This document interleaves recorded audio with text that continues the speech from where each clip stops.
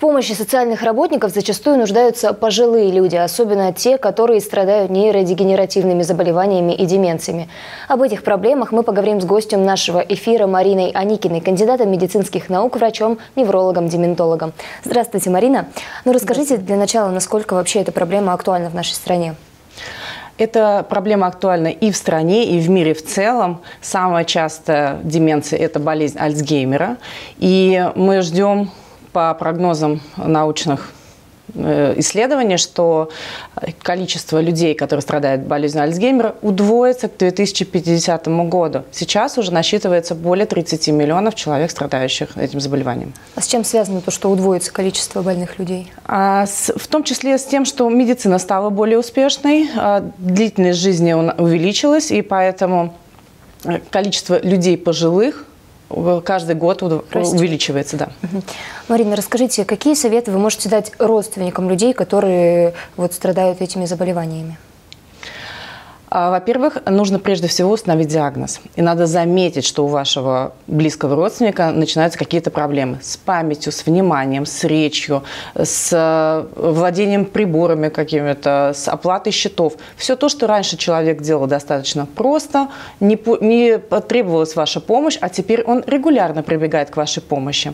Конечно, самое частое это переспрашивание. И на это больше всего обращают внимание, потому что это немножко раздражает Вроде, мама, пап, я тебе только что уже сказала. А пожилой человек еще раз и еще раз спрашивает о чем-то.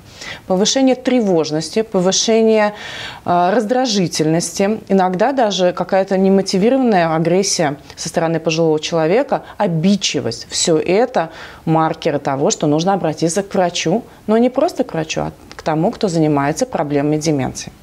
Расскажите, вот вы организатор, а, э, один из организаторов встречи, которая проходит вот с людьми больными э, Альцгеймером, деменцией. Для чего нужны эти встречи? Как они проходят? А для чего нужны? Потому, э, поскольку пациенты в целом становятся более изолированными, они боятся куда-то выходить без посторонней помощи. Не всегда у семьи находится время и условия для того, чтобы организовать достойный досуг пациенту с э, любой деменцией. Во-вторых, есть психологические еще тормоза. Семья часто очень боится, что заболевание близкого человека будет заметно, что последуют какие-то вопросы, или просто э, хочет оберечь человека от расспросов. Мы помним тебя вот такого, а теперь ты вот такой. И такие люди иногда не выходят годами из дома. И это, конечно, ужасная проблема. Это ухудшает их эмоциональный и интеллектуальный статус. Встречи, которые были организованы фондом Альцрус э, под э, личной инициативой президента фонда Александра Щеткиной, сейчас известны э, во всей России, и мы очень рады, что таких клубов, а, Альцкафе, а, клуб «Незабудка», становится больше. Сейчас, конечно, большинство клубов открыто в Москве. Это такие временные площадки.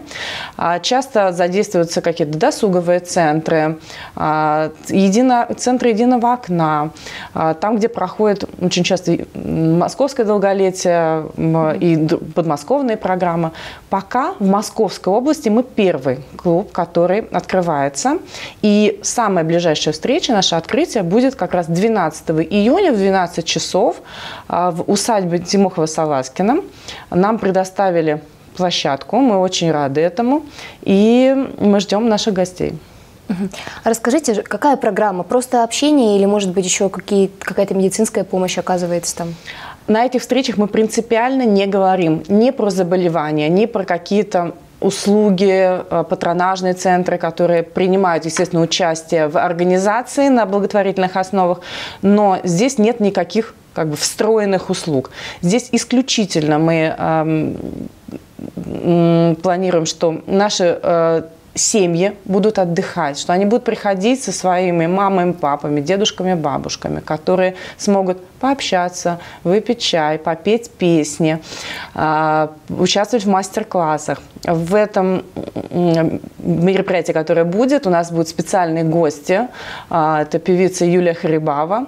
А, вести мероприятие будет Ника Вишневская, телерадиоведущая. И мы ждем гостей СМИ, в том числе в рамках э, формате этих встреч а, у нас э, всегда есть фото и видеосъемка. Для чего? Потому что удержать воспоминания очень сложно. Даже, ну, даже нам, у нас что-то стирается все время с памяти. Представьте, люди, которые страдают деменцией. А, для того, чтобы поддержать эти воспоминания, мы всегда делаем фотоотчет, выкладываем э, их участникам для того, чтобы семья могла распечатать те фотографии, которые интересны, и, например, невзначай напомнить, помнишь, мы вот были в прошлом месяце и пойдем в этом месяце.